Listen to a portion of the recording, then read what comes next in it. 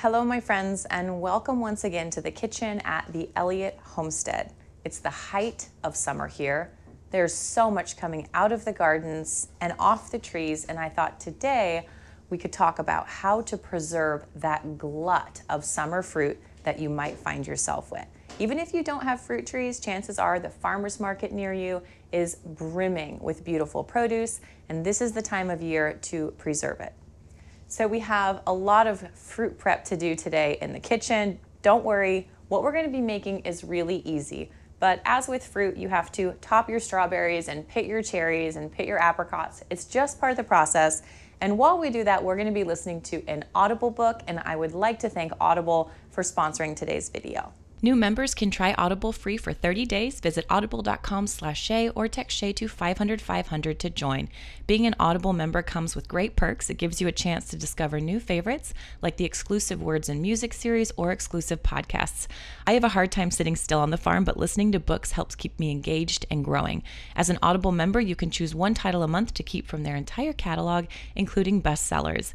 You can also get access to the growing catalog of titles, including Audible originals. Right now, I'm listening listening to The Olive Farm, which you guys would love. It's about an English actress who buys and struggles to build an olive farm in rural France. Audible has been kind enough to offer Elliott Homestead viewers an entire month of Audible to try for free. There's a special link below the video where you can click on that, get your special code, and give this a try yourself. I'm also going to leave a few of my favorite titles below if you would like to read along with me on your own Audible account. Okay, so today's video is all about fruit. Now, we've done fruit quite a few ways here already on the channel. We've done dried fruit. We do fruit in our freeze dryer. We've done, of course, jams and jellies, which is what you have back here. But today we're gonna be talking about a new way to preserve that glut of summer fruit. As one of my cooking community members called it, elevated preservation. Because yes, preservation of the summer bounty serves a utilitarian purpose, but I also want it to serve a culinary purpose. I want it to be really delicious. And I have to say, it's a treat, but this is by far one of the very best ways that I have found. So today we're gonna be making gelato. Okay, gelato is nothing new, but it wasn't until recently that I actually started to make it, and I'm not really sure why. It's like an ice cream, but not like an ice cream, and that it's not cream based, and that you don't need any special equipment to make it. You're not using egg yolks, you're not making custards. So it really makes it ideal for the home kitchen. All you need is a freezer and some sort of way to blend the gelato, whether that's a high powered blender or I'm gonna be using my very old companion here, my Cuisinart food processor. So the only thing you need with gelato is a little bit of time. So I'm gonna start with seven ounces, seven fluid ounces of milk. I'm using a raw milk here. And then to that, I'm going to add in four tablespoons of sweetener. You can use what sweetener you like. Honey is really beautiful, really delicious, and adds a lot of flavor. Where's my spoon? Maple sugar is a fantastic sweetener for this. It dissolves really easily. I have some sucanat here, which is dehydrated whole cane sugar, comes from the sugar cane plant. So I'm just gonna add in four tablespoons of sweetener. This is great. We're just heating the milk up to a boil. It's going to help all that sugar dissolve. Now, the flavor of gelato is supposed to be really um, authentic and very real. So today we're going to be making a cherry gelato and a strawberry gelato, and they taste like the fruit. It's not covered up with cream. So it made me think, hey, well, what do I want to pair with cherries? So you could add vanilla extract, you could add lemon zest if you'd like that. But today to my cherry gelato, I'm gonna add almond extract because cherries kind of have that almondy flavor, especially in the pit. I've taken all the pits out of these cherries, so I'm gonna add a little bit of almond extract to my milk mixture. Because I think it will be a delicious flavor. But the point is, this is your gelato, and you can season it however you mm. like. So I'm gonna bring this milk mixture up to a boil and then turn the heat off. Once that's done, I'm gonna pass it through this fine mesh strainer and into my milk craft that I use for my espresso machine just because it has an easy pour. So we'll just pour it right through here. Now, if you have ice cube trays, You can freeze the milk mixture that way. I do not have ice cube trays, but I do have a muffin tin, so that's what I use, and it works great. Let me show you what it looks like.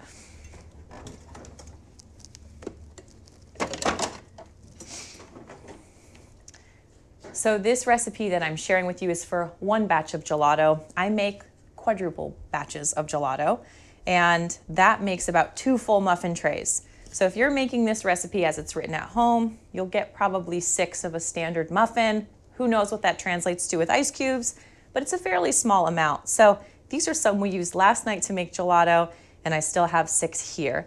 So you're gonna wanna let this freeze for at least four hours. You can certainly let it go overnight, but you want it frozen solid because we're gonna blend all of this together frozen.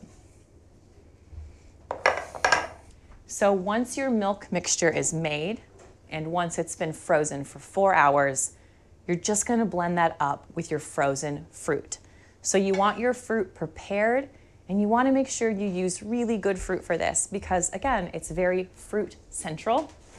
So these are some beautiful Rainier and Bing cherries that we got from a local orchard. And my boys spent a good portion of the day on Saturday pitting all these cherries. And Georgia spent a good day of the day on Saturday cutting all the tops off of those strawberries. so the fruit prep has been done and they've just been hanging out in the freezer awaiting their moment. So this has been kind of at room temperature for about 45 minutes now. You don't have to do that but it does make the blending just a little bit easier. Um, so the fruit and the milk will both be frozen. This means we can eat the gelato straight away if we'd like, or we can package it and put it in the freezer. So watch how simple this next part is. Actually, our milk's just about done here. And that almond, I love that. Cherry almond, man, since this is almost done, I'm not going to distract myself by making the gelato yet. I'm going to focus on one thing at a time.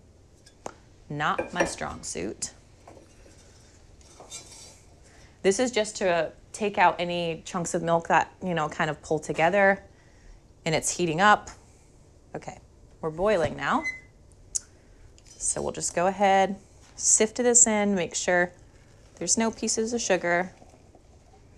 And mind you, this is whole milk, but it's not cream. It's just milk. Okay, now this, just like this, we can pour into our muffin trays, which I am gonna wait to do until I take the other ones out. Otherwise, I'll make it much harder on myself. Okay, so that was all prep done. Fruit prepped and frozen, milk mixture prepped and frozen, and now we blend it. So the mixture that we're gonna do is a pound and a half of prepared fruit. Get out your digital scale. Don't eyeball it. Come on, there we go. Oh, it's cold.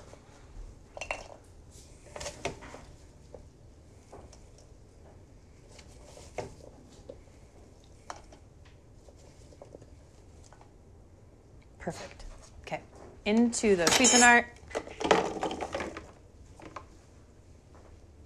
And now to that, we're gonna add in our entire recipe of the frozen milk mixture. So I made this one last night. See, just little discs. It just makes it easier for it to blend it up. Sometimes if you have big, huge pieces of frozen things, you may know this, it gets really difficult for your machine to blend it up because this is a thick gelato, right? It's not like a smoothie where there's some liquid to play with. Okay. Now the only thing we have to do now is add in three more tablespoons of sweetener. Cold foods tend to taste a little bit less sweet. And so we're, we're going to be compensating for that. So this entire recipe has seven tablespoons of sugar or sweetener total. We added four to the milk mixture, and now I'm gonna add three to finish off the gelato. But for this sweetener, Instead of using my dehydrated whole cane sugar, I'm gonna use honey because summer and honey is just so beautiful and it's so strong. You can really, really taste it. I still have honey from our bees that we had last year, so that's what we're gonna use.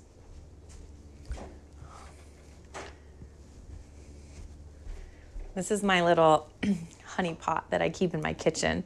And in the wintertime, I feel like this thing is almost frozen solid. But in the summertime, it's nice and soft. So I'm just gonna eyeball it.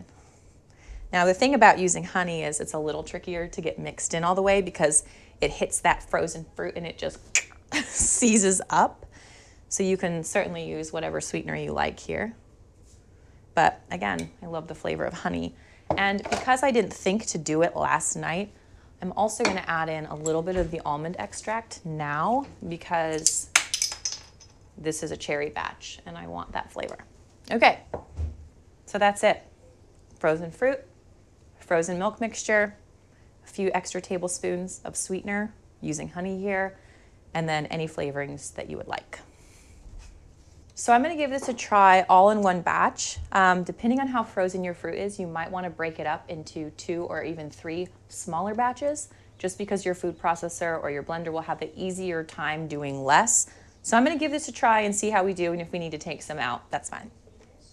Also, pulsing your food processor helps.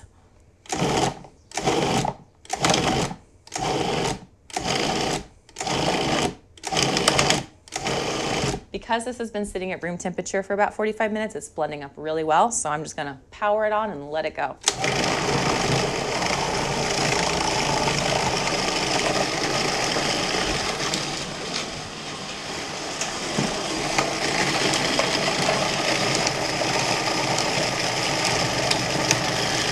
So you can see every once in a while it hits a frozen cherry and it goes whoop. I want to get it nice and smooth to where that doesn't happen anymore. I really tried to be careful to check these cherries for pits. There's a possibility there's still one in there, but I guess that's part of what makes it homemade.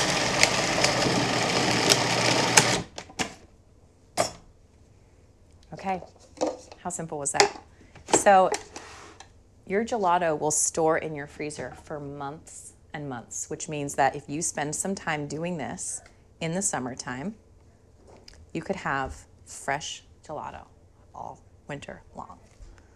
So I got these really great little freezer containers from a local store. I'm sure you could find them at your own local store. And I'm just filling it up with that beautiful gelato. And I'm gonna show you, make sure you mark it.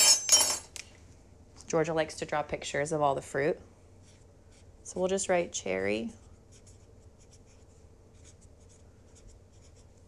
and the year. That way I know what it is in the freezer.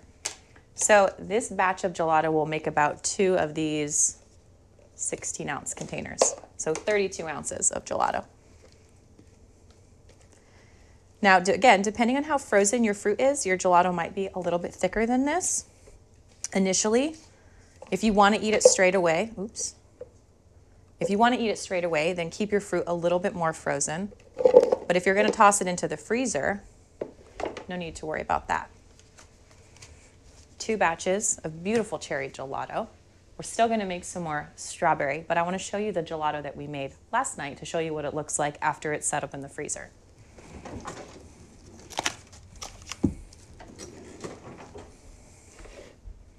So, see? This is how you know George has been there. So it keeps really beautifully, just like a pint of ice cream. I got into this one last night. so it's really hard when it comes out of the freezer. So before you serve it, you're gonna wanna let it kind of cool down, or not cool down, warm up just a little bit.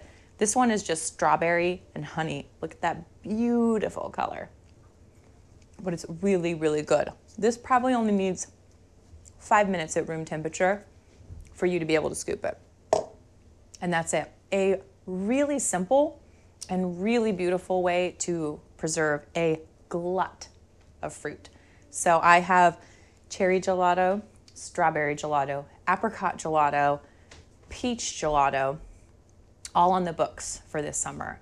I would love to do some plum and experiment with some new fun flavors. I would love to hear in the comments if you've made gelato and what flavors you love to make. I know obviously you can make different varieties of coffee ones and chocolate ones, but I'm really looking at this as a form of preservation, of elevated preservation, a form of preservation that we really, really, really get excited about eating. So there you have it homemade gelato.